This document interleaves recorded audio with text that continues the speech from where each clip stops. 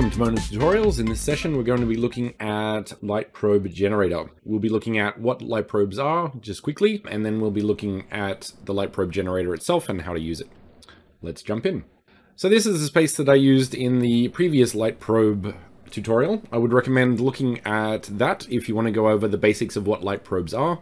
But just quickly, light probes allow dynamic objects to take some of the light mapping information so that dynamic object looks like it is part of the light mapped environment.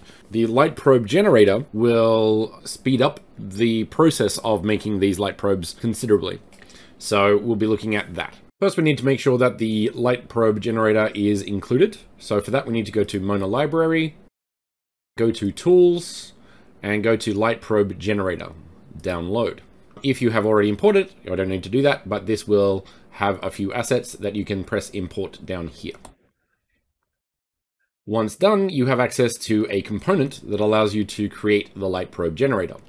For that, I usually use a empty a game object. So name it as you see fit. And then go to the inspector up here, and then go add component. If you type in light it will come up with a list of all components with light in it, but we want the light probe generator.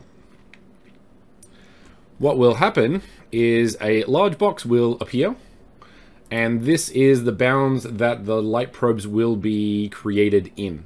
So usually you will move this around to suit the space that you're working in.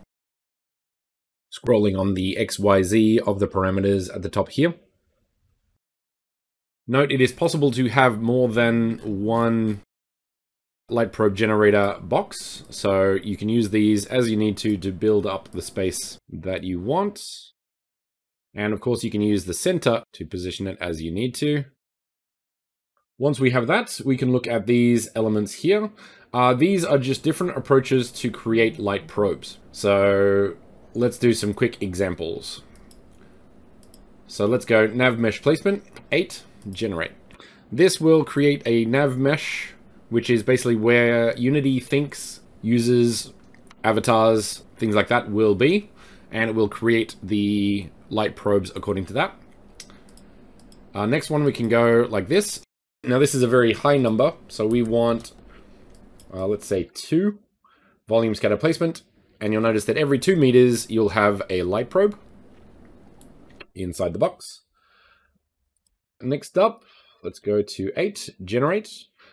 This will raycast from lights and place the light probes as it sees fit. And the object bounds placement doesn't consider the placement density at all and simply places things on the bounds of objects. So sometimes that one might, might be useful. Now, of course, you can use multiple, so we can do that. So mixing these up and the number of units um, would be a good way to go. Now, depending on how many you have, so this is quite a lot, you can next move on to the merged by distance. So if it's within two units or two meters of space and optimize, you will merge all of the light probes into that one.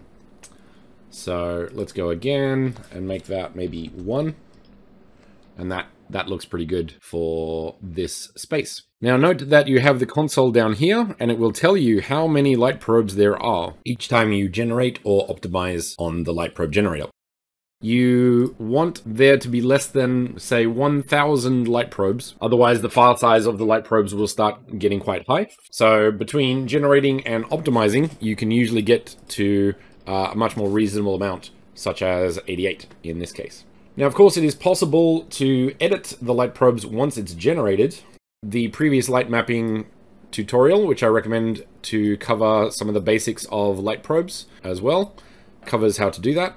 But if you select the edit light probes here, and then adjust as needed, you can sort of get these on the edge. And there we have it. Uh, a space done in less than a minute. Note that you do have to use light mapping to create the light information for these assets. So I would have to run through this element to make sure that each of these light probes have that light information to apply to dynamic objects like the avatar and any animated objects that you might have.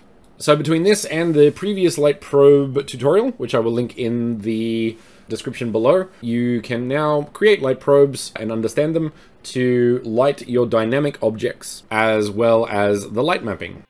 That's it for this tutorial. Have a nice day and happy building.